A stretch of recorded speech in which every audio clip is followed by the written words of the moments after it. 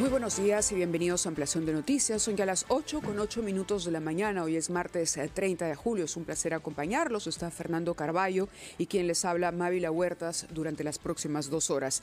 Sin duda, a esta hora de la mañana nos preocupa cómo han ido evolucionando los hechos en Venezuela. Es una situación sumamente delicada. Por supuesto, también vamos a analizar, todavía hay mucho que decir con relación al desglose que tiene que hacerse de lo que fue el mensaje de la presidenta Dina Boluarte ante la representación nacional, pero los hechos en Venezuela van tomando un cariz peligroso, debido primero a que los resultados oficiales del órgano electoral que dieron como ganador al señor Nicolás Maduro, presidente actual de ese país, han sido desconocidos y con razón por la oposición.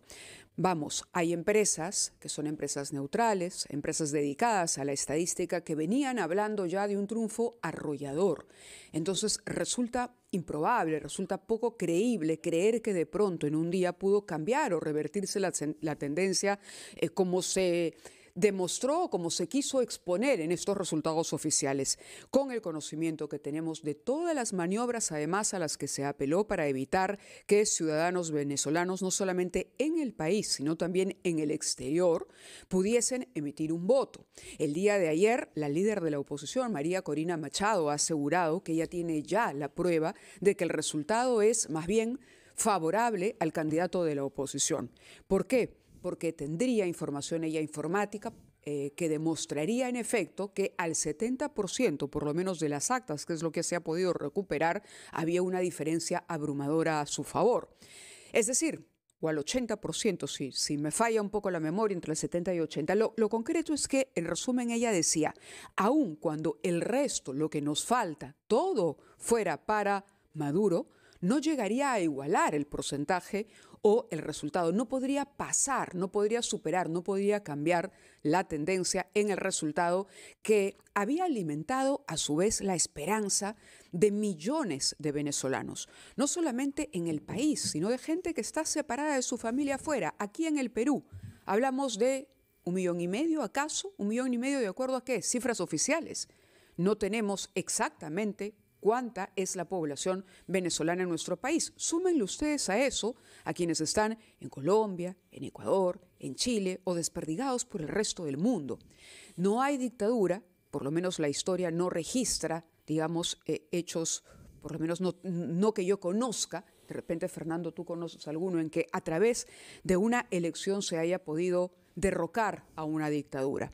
Lo concreto es que los gobiernos eh, entre ellos el nuestro, han hecho bien en pronunciarse, en desconocer y en, de alguna manera, retirar a sus legaciones diplomáticas, a su personal diplomático. Maduro también ha respondido pidiéndoles que se vayan. Esta situación torna mucho más difícil el escenario. Vamos a ver cómo devienen los sucesos en los eh, próximos días, pero entre tanto tenemos una interesante entrevista a continuación con el canciller que está con nosotros ya acompañándonos en cabina. Fernando, buenos días. Buenos días, Mávila. Respecto a los antecedentes que usted ha mencionado, el que tenemos es el que se produjo en Nicaragua en el año 90, cuando Violeta Chamorro derrotó a los sandinistas, que en esa época eran jóvenes y que, y que dejaron el poder.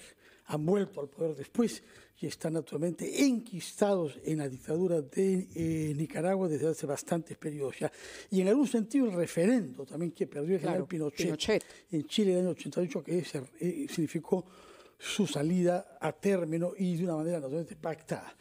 Ahora, eh, efectivamente, en el caso de Venezuela las cosas son complejas porque hay un nivel de criminalidad vinculada con el narcotráfico de este gobierno que está preso uno de los principales, y además personas vinculadas a él por el petróleo también, que hace difícil si no hay una salida negociada. Ahora, eso es lo que nos había hecho eh, creer Corina Machado, diciendo que se habían dado garantías e incentivos. Eso lo dijo acá en RPP para que los chavistas puedan, digamos, colaborar con una transición pacífica del poder. No se ha producido manifiestamente eso y estamos a un país enfrentado a su población en primer lugar. Hemos visto manifestaciones, hemos visto detenciones que naturalmente han sido terruqueadas por el gobierno de Maduro, que dice que son terroristas, etcétera, etcétera, etcétera, preparados que han venido del extranjero en su mayoría y todo lo demás. Pero está enfrentado también Venezuela a la comunidad internacional, con la excepción en América Latina de Cuba, Cuba, no, eh, no podíamos esperar otra cosa de ese régimen que tiene 66 años en el poder, y Nicaragua, precisamente, de los sandinistas de hoy.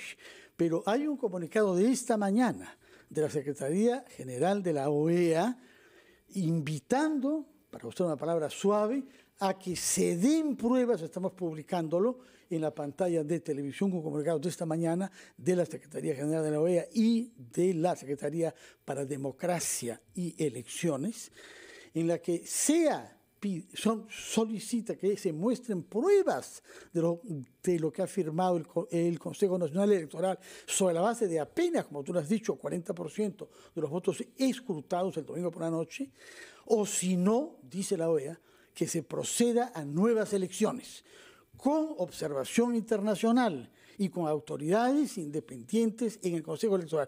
Es una iniciativa nueva esta de que hayan otras elecciones. Vamos a ver si podría ser respaldada por el Perú también y para eso, como tú lo has dicho, tenemos al canciller de la República, el doctor Javier González Olechea. Muy buenos días, canciller. Buenos días, canciller. Buenos días, Amalia. Buenos días, Fernando.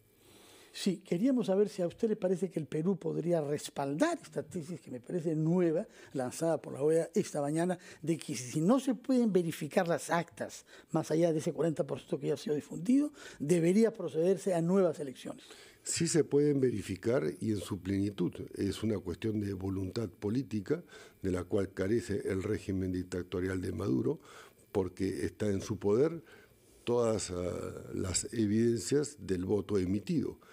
Eh, yo entiendo que eh, el comunicado del secretario general de la OEA, con quien conversé sobre esto en Washington de forma eh, muy clara hace unos 10 días, coincidíamos perfectamente en la orientación hacia donde se encaminaba el régimen desde el día 1 al haber impedido la candidatura de la señora Machado, detenido y encarcelado a periodistas y a opositores, de manera que yo creo que es evidente que uh, la voluntad de fraude existe, eh, más o menos de un conteo inicial del día domingo, y están en las pantallas, eh, la diferencia era más de 30 puntos a favor del señor González, eh, lo cual era irreversible, y el señor González es el presidente electo de Venezuela esta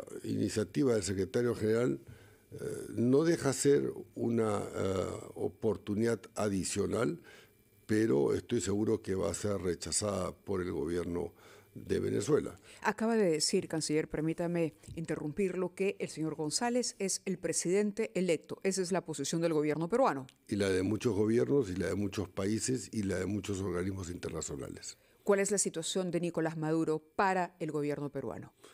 Eh, hasta que termine su mandato es un presidente, eh, digamos, uh, recordemos también los antecedentes de otras elecciones, al final del mandato se convertiría en un gobierno de facto. Muy bien, son las 8.17, vamos a hacer una pausa y retomamos nuestra conversación con el canciller de la República, doctor Javier González Onechea.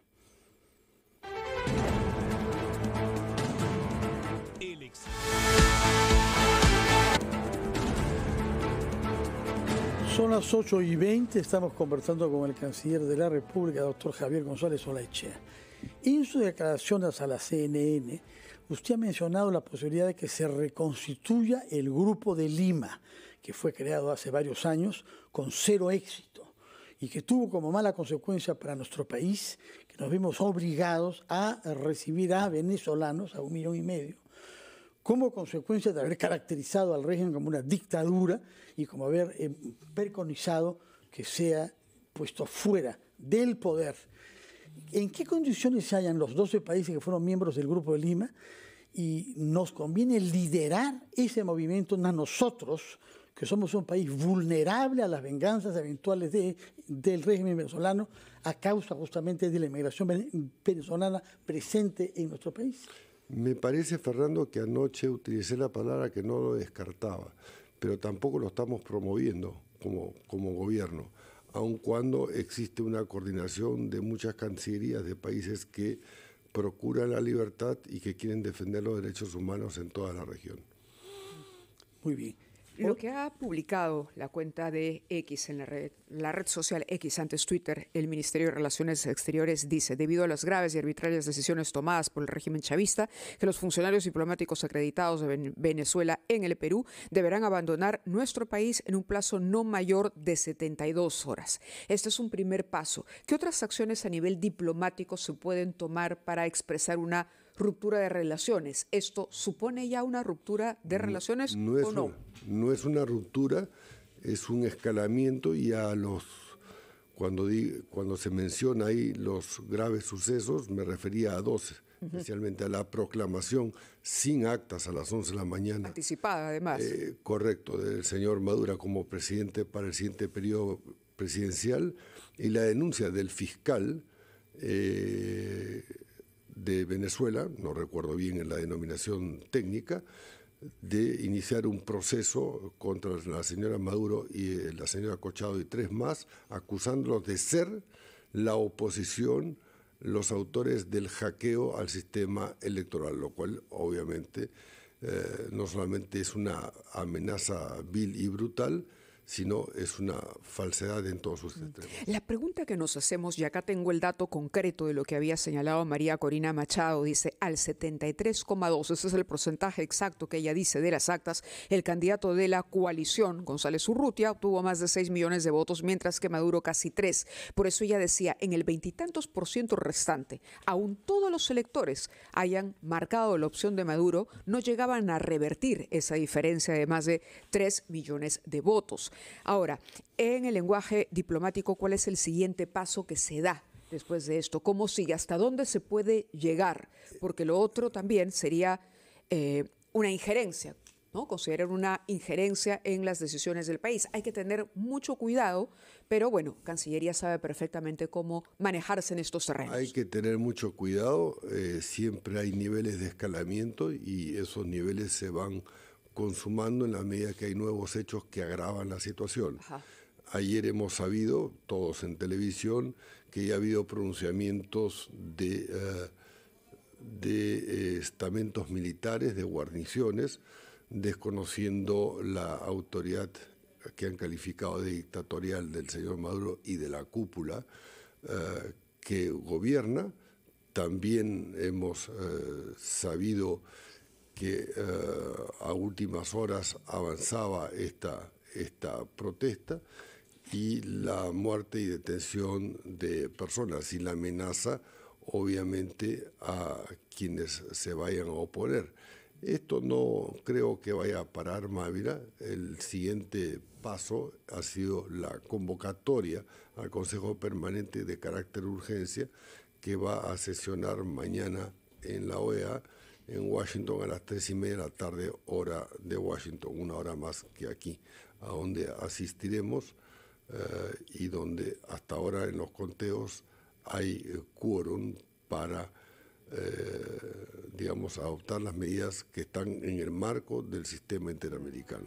De acuerdo, quería hacerle una pregunta para quienes en este momento, por ejemplo, escuchábamos más temprano a un ciudadano venezolano que había tramitado su pasaporte, el pasaporte para él, para su esposa y para uno de sus hijos, había invertido los 800 y pico dólares, que es lo que le cuesta todo el trámite en la tarifa venezolana para obtener un pasaporte, pero que no, al no existir ahora personal de Venezuela que lo atienda aquí en Perú, finalmente siente que ha tirado el dinero. ¿Cómo queda? ¿Cómo funciona el consulado peruano allá? ¿Funciona el consulado venezolano acá? ¿Qué le podemos eh, transmitir a quienes en la práctica y en el día a día van a tener que resolver o tienen trámites pendientes? Después de haber nosotros en Cancillería pronunciado sobre las 72 horas de funcionarios diplomáticos, eh, recibimos por conducto irregular una nota eh, de la, del Ministerio de Relaciones Exteriores eh, de Caracas, en donde incluía al personal consular peruano. ¿Conducto irregular? ¿A qué se refiere? ¿Puede ser Lo más mandaron específico? por WhatsApp al WhatsApp de un alto funcionario de la Cancillería, que no es la manera. Las ¿Mandaron notas, un WhatsApp nada más? las notas verbales se entregan en las misiones. Pero por supuesto. O así es. Por, entonces, anoche se conformó en Cancillería un grupo de trabajo ad hoc sobre esto. Están evaluando, digamos, varios escenarios, entre ellos los fundamentos de la postura que vamos a, llevar a Washington. Están buscando pasaje para esta noche. Y yo no quiero adelantar si vamos a aplicar la reciprocidad allí, en el caso de los agentes consulares, porque también está claro que uh, perjudicaríamos a millón y pico de venezolanos que no es nuestra intención. Por eso. y, en ese camino, permítame interrumpirlo un instante solo para introducir el factor visa que se estaba exigiendo. En este momento hay una persecución a los opositores en Venezuela. Usted acaba incluso de referirse directamente al caso de María Corina Machado, pero ella encabeza, digamos, es el rostro más visible de la oposición, pero hay muchos otros en las bases. Hemos visto cómo, por ejemplo, el, gobierno de Nicolás Maduro se la emprendió contra personal de seguridad de la propia ex candidata a la presidencia.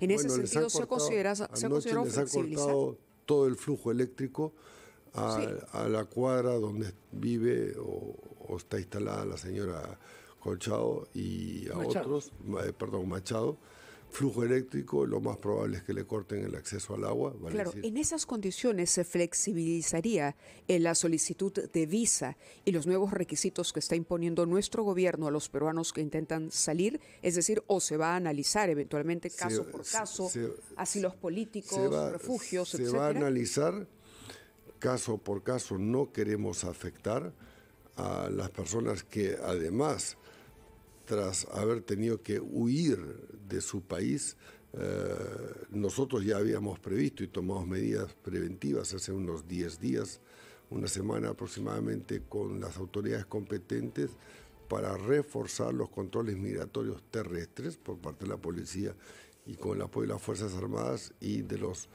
puertos y aeropuertos, de manera que eh, no e, e, evitar, digamos, eh, un, una, un, éxodo eh, que eh, no podemos acoger en las magnitudes de, del anterior éxodo. Recordemos que hay más de 7 millones de venezolanos en el exterior.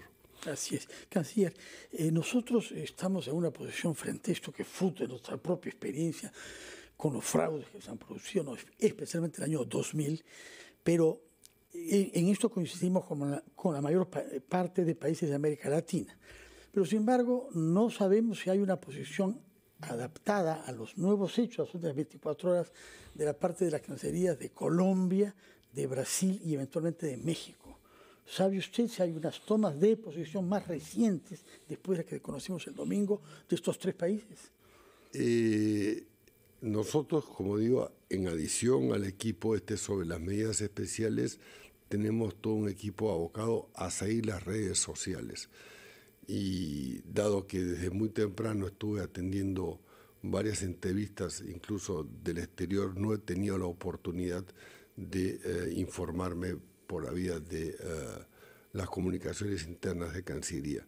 Pero no descarto y lo más probable es que en el transcurso del día por lo pronto, este, el embajador en Finlandia, eso sí pude ver, el, señor Pinto Basurco em, envió una declaración del gobierno de Finlandia en los términos más claros sobre la ausencia de transparencia total del proceso de Venezuela. Es decir, Finlandia es un país que está eh, muy lejos, por cierto. Sí, claro. Pero eh, considero que se van a seguir pronunciando eh, gobiernos incluso que en su momento fueron muy laxos con la cantidad de tropelías y con el inicio eh, con voluntad de fraude del gobierno Maduro en el proceso electoral. Ha, mencionado usted una reunión, una visita a Washington que sostuvo hace algunos días. Diez días. Diez días, correcto. El gobierno de los Estados Unidos había incluso flexibilizado ciertas medidas en materia económica con Venezuela, pero la condición era, evidentemente, que el régimen chavista entienda que tenía que ser respetuoso de la voluntad popular y se comprometía a una serie de, cosas, entre otras elecciones libres. Esto no ha ocurrido en el panorama internacional podría haber represalias. ¿De qué manera la comunidad internacional podría, sin intervenir directamente, digamos, proponer algunas alternativas para la salida de Maduro? Bueno, eso es... Eso puede ser una alternativa. Lo que sí está claro es el pronunciamiento del secretario americano de Estado, Anthony Blinken, en donde exige eh, el reconteo con la de todas las actas y de los votos con la participación de observadores internacionales absolutamente independientes. Eh, y el Perú eh, obviamente podría ofrecer no el gobierno o incluso las mismas eh, digamos, ONGs que son muy competentes sobre la materia participar. Pero claro, el proceso ha sido eh, eh, observado por, por, por personas provenientes de Nicaragua y de otros países similares el Perú también, ¿eh? lamentablemente el Perú a través de figuras vinculadas a Perú Libre que defiende a Maduro. Bueno, en calidad de veedores. Bueno, ¿qué es lo que hay? Porque propiamente observadores no han aceptado nunca, propiamente no. Lo que llama la atención es que la mesa directiva del Congreso de la República no se haya pronunciado. Y quizá eso tiene que ver con el hecho que uno de los vicepresidentes es precisamente de Perú Libre. El, el Poder Ejecutivo y especialmente el Canciller es respetuoso de lo que decida el Poder Legislativo y su mesa directiva y posiblemente eh, no descarto que lo hagan en su oportunidad, siquiera el presidente del Congreso. Usted mencionó hace un momento que habían unidades militares en Venezuela que habían claramente mostrado su oposición a la conducta antidemocrática que está teniendo el señor Maduro, conducta dictatorial y podría dar precisiones porque... Lo vi en televisión ayer, eh, entiendo que fue una primera y después secundada por otra. Recordemos los antecedentes, por ejemplo, en el caso de Sánchez Cerro. ¿no? Sánchez Cerro era jefe de una guarnición, comandante de eh, una guarnición en Puno y se levantó con el, el régimen del momento. Creo que Arequipa, ¿no? Eh, posiblemente Arequipa o Puno, tendría que revisar mi, Canciller. mis notas históricas. Sí. Quisiera pedirle su opinión sobre este pronunciamiento a propósito de un tema que ya abordaba Fernando, un pronunciamiento de María Antonieta Agüero Gutiérrez, presidenta de la Liga Parlamentaria de Amistad Perú-Venezuela, que señala que expresan sus felicitaciones al valiente pueblo venezolano por la demostración de su voluntad soberana al ratificar al presidente Nicolás Maduro, que lo hacen además en el marco del proceso electoral en la República Bolivariana de Venezuela, la Liga Parlamentaria de Amistad Perú-Venezuela del Congreso de la República.